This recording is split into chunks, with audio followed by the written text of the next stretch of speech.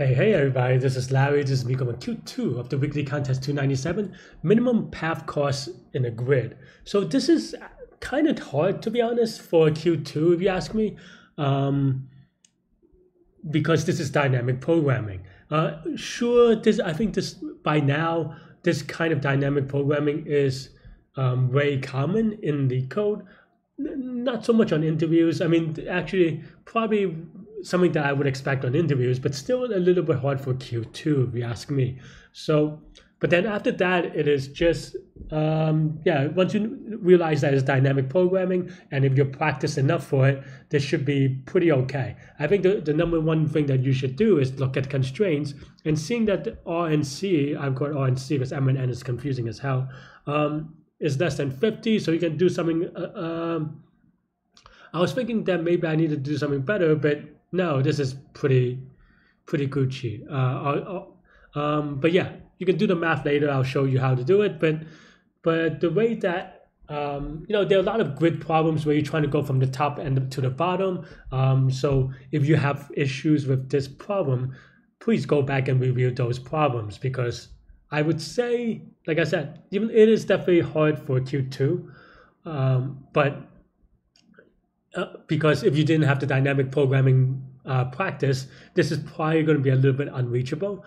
Even though you can maybe reason some of this out on greedy by itself, but you know, dynamic programming also has a greedy component uh, in terms of optimization. But but as a result, um, like you may be able to work it out. Actually, maybe I'm wrong, but having that foundation lets you work it out very quickly. After that, it's just about setting up and connecting the, the edges in the right way and adding stuff together. Um, to be honest, I was very, I don't know why, looking back, I was very slow on this one. I think I just took a long time reading it, just honestly. Just reading it was the issue, and I had I, I don't think I wrote code. Oh, I, I yeah, reading it was the issue, and then I forgot to add the the the, the cost of the cell as well. So I just had to go back and change it because I couldn't figure out why it was um, not working.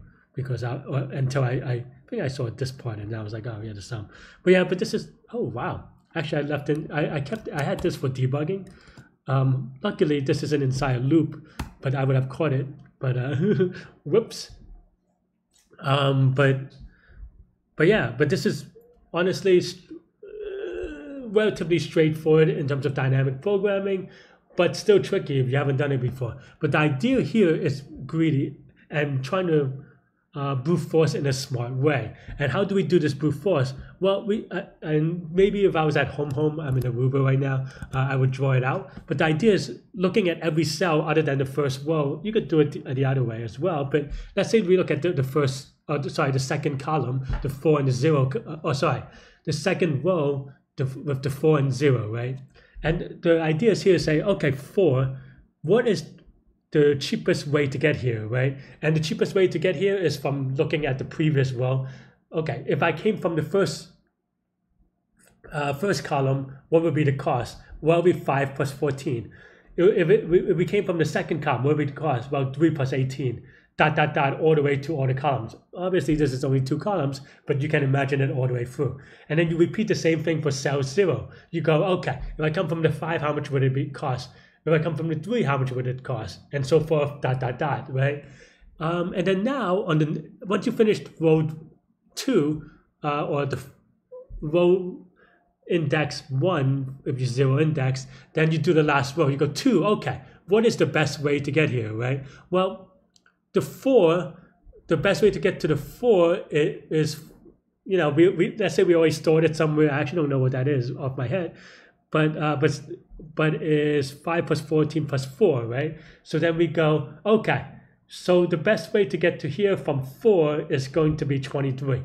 The best way to get from zero to here is going to be, I'm guessing, 5 plus 3 plus 0. So that's going to be 8. So, okay, so let's take the path that takes 8, right? Oh, plus 9, I guess. So, I mean, but you do the math and then you just minimize it altogether. So this is brute force in that way is that for each cell, so these two together will give you the cell. For each cell, we look at each previous cell. Uh, I actually don't know which one I set it up, but but it should be the same either way. Um, okay, so here um, at cell or our J, we look at the previous row rows I I column, and then all this stuff may look a little bit tight, but it's just adding them right because the previous best this is the um, for the previous I've column this is the score that we have, and this is the cost that they give you in the in the in the uh, in the problem. So it looks confusing, but it is you know just that where you look up the cell's value and then you look at the move cost and then you have to add the grid, you know, the cell itself. And of course, at least the way that I did it, you could do it another way. The way that I did it, I don't count the cell that you're moving to. So at the very end, I, I have to add that cell back, and that's why I have it here. Um, cool. Uh, that's pretty much all I have for this one. Uh, actually, I lie. So basically, you can see that this one is O of R times C times C um, and each of them being 50, it should be fast enough. Um, and in terms of uh, this, this is time, in terms of space, well, we allocate a U, new best every time, and this is going to have O of C. So this is, you know, space. Kind of. You can also say that it's just O of C space, um, depending on how you want to do gar garbage collection counting um, because in theory should reuse it, but it's fine. Uh, but yeah, so th that's the thing. Um, I did make an optimization here, so you can't do it in a more naive way with with uh, R times C space in either case. But uh, but yeah, and I think you could do it recursively as well. But I was just doing it bottoms up. Uh, cool. That now I think that's all I have for this problem. You could watch me it live in the contest now. What a, what oops, what a mess. We've already probably done Q2.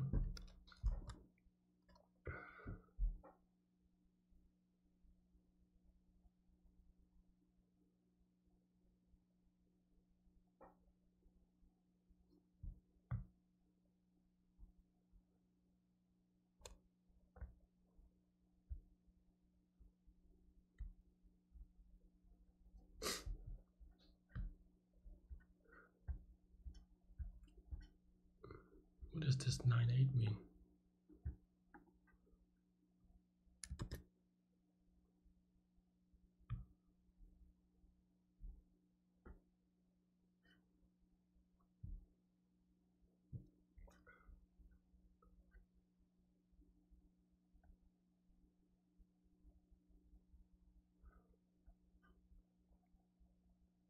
Five to zero is three.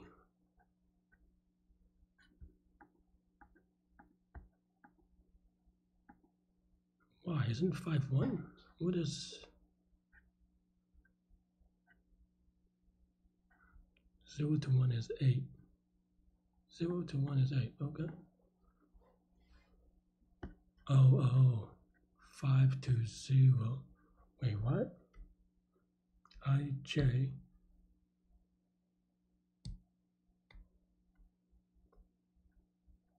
To oh column. Okay. Wow, this is yikes. But this is such a reading mess. Um, okay.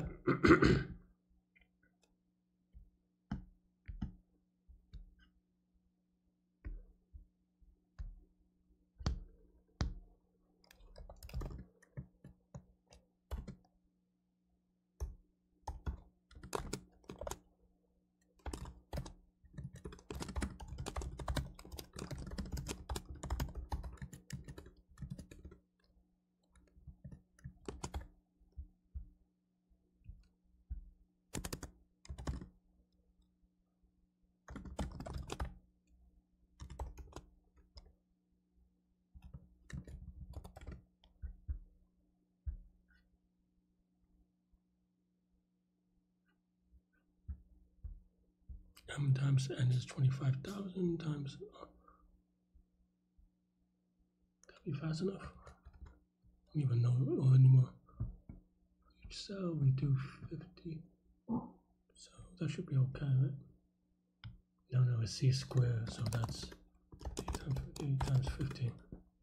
That still should be okay. Okay, fine.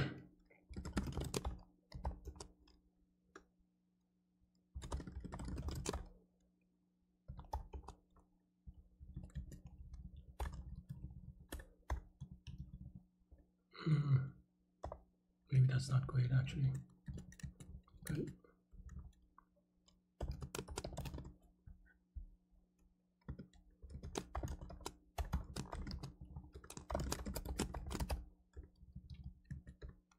Mm.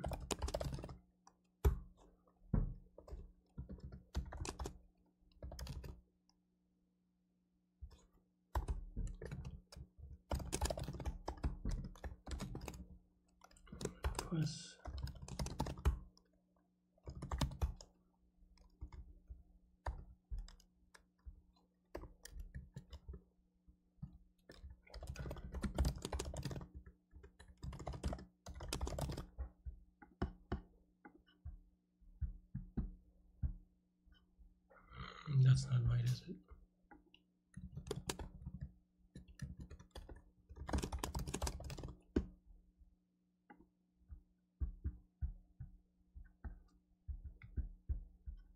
Two and seem right.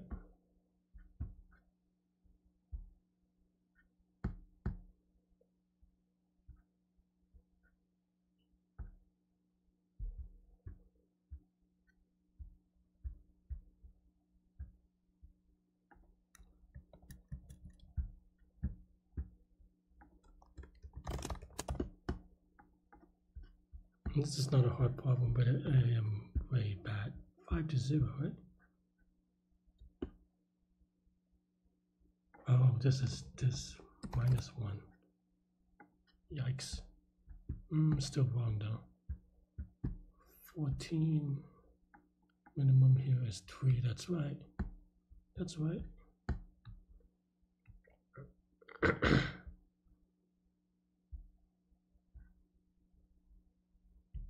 oh some of the costs as well uh, okay so I think we're mostly done then um, plus square of r minus 1 i and then now and for i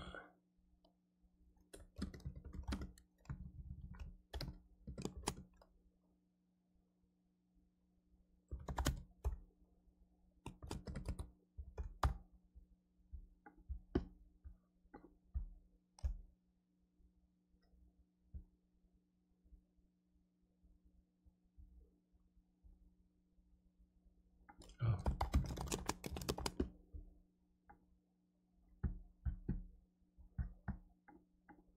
man very sloppy. Hopefully that's right okay. Gone. Yeah thanks for watching. Hit the like button hit the subscribe button join me in discord. Let me know what you think about today's problem or this problem. Uh stay good stay healthy to good mental health. I'll see you later. And take care. Bye bye